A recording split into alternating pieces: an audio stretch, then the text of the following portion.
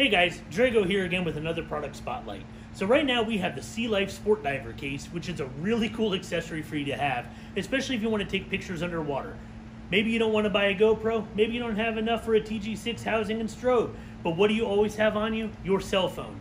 So you can put your Apple, Android device, pretty much anything into this guy, download the app, and you'll be good to go. This case is rated up to the recreational limit of 130 feet, and it comes with a red filter that you can attach and detach, so this way you can get some of the best photos for you.